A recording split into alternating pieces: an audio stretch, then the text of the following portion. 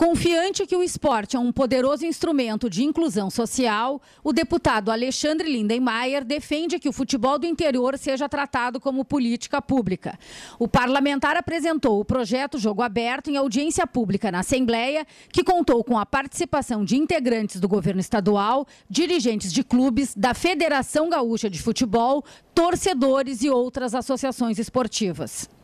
Foi uma audiência com um bom debate e, mais do que isso, com a apresentação dessa proposta que nós definimos como jogo aberto, que visa, mais do que qualquer outra coisa, estabelecer uma política pública de esportes com foco no futebol do interior. E quando nós falamos em futebol, nós não falamos somente no futebol pelo futebol.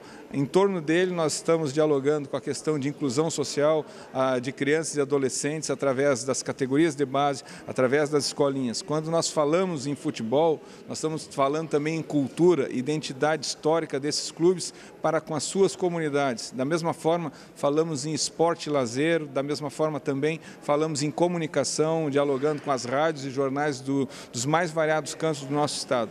No início da audiência, o deputado exibiu um vídeo com partidas de times do interior do estado e o depoimento do ex-jogador Neca, que está apoiando a iniciativa.